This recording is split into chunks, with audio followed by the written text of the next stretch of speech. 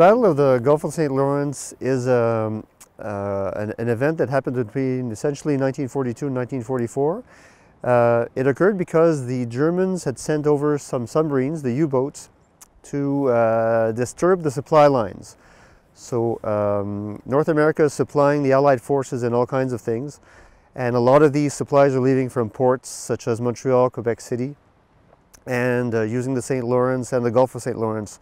Here we're, in, uh, we're standing in Cap Bon-Ami, and uh, this is not very far from Cap des Rosiers. These are uh, places where uh, fishermen uh, saw some submarines in action, either when they were lifting their nets for bait that morning or when they were actually fishing during the day.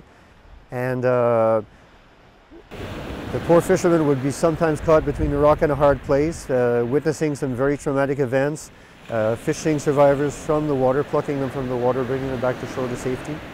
Uh, lighthouse keepers would be uh, also involved in, in, relaying information that they had either seen or heard from fishermen, uh, relaying that to local authorities so that they could act also.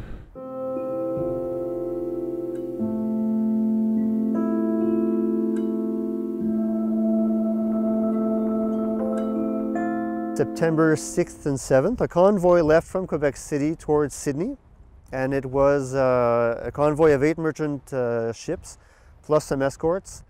And uh, the U-boats, there were two U-boats in action uh, in the Gulf and in the St. Lawrence at that time. So one of the U-boats was uh, waiting uh, in ambush on the north shore of the peninsula, of the Gaspé Peninsula, and was able to attack the convoy and uh, following that attack, two ships sank. So one was a, a, a merchant ship, the Aeas, a Greek ship, which went down uh, near the, the town of Cap-Chat.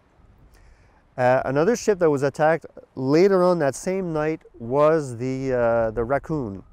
The, the Raccoon was actually a refurbished yacht. Nobody saw the Raccoon go down and, and, and the Raccoon wreckage was never found again, which uh, remains a bit of a mystery as to uh, the actual events that, that went down that night, but uh, no survivors were, were found.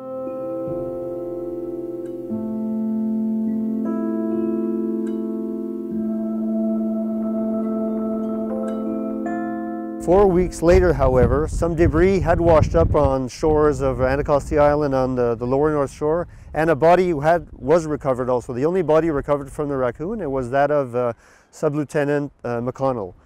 Uh, McConnell was a fellow who was born in Montreal and I think had trained um, uh, out west in Victoria, I believe. And he was the only body ever recovered from that, uh, from that shipwreck. So 24 years uh, old, old at the, the time of the, uh, of the, the, the sinking.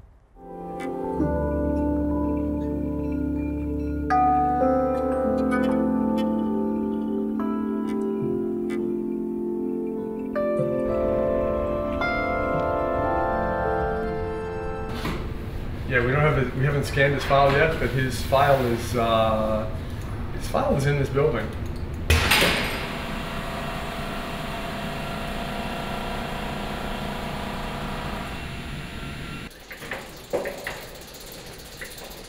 This is a typical storage uh, storage area, and this uh, particular shelving is all national defense material. So we have um, Russell McConnell's uh, file, military file with us here. So um, do you want to walk through it for us, Paul? This is a Navy file, and um, the, the first thing you usually find in the file is the attestation paper, which indicates the beginning of military service. Now, for uh, McConnell here, we have the, we have an, actually a militia attestation form. So he joined in Montreal, joined up to the active, uh, the non-permanent active militia. So he was drilling weekly with them at, from the age of 16, actually. Uh, from, from there, though, when the war breaks out, he fills out um, an attestation form to join the Royal Canadian Naval Volunteer Reserve.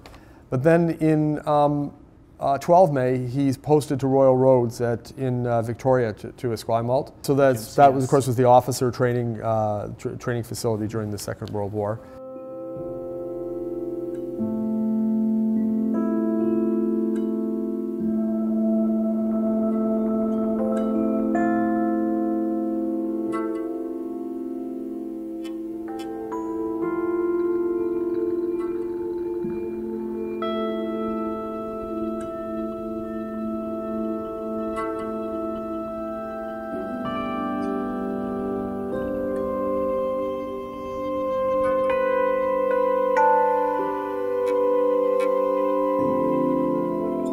And so he's posted to Gaspé.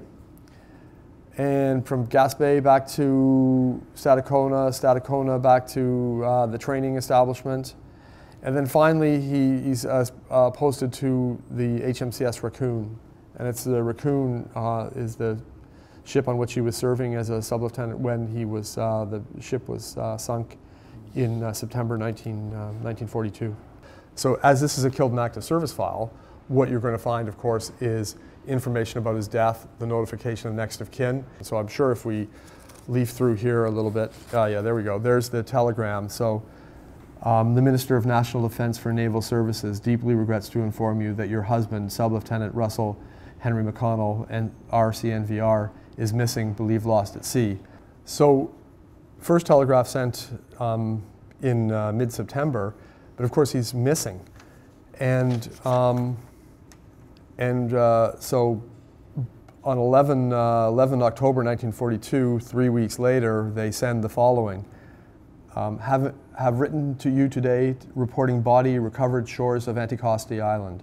Undoubtedly your husband, Sub-Lieutenant R.H. McConnell, HMCS Raccoon. Body badly mutilated and decomposed, but your husband's name on uniform coat and cigarette lighter with his initials in pocket. General appearance of remains, I am satisfied, confirms it is your gallant husband's body. Owing to condition of remains, it was essential to carry out burial at sea, which was conducted with full naval honors. Your friend, Reverend Captain Perkins, who was on board, conducted ceremony, and he is writing you with full particulars and sending you copies of photographs of service at sea. Most bodies of most men in the, in the Royal Canadian Navy who were lost at sea, their bodies were never, never recovered. Uh, so she was lucky to have a lucky in the sense that she found out eventually um, his body was recovered. Mm -hmm. But must have been quite a sh shock to receive that, uh, that, that telegram.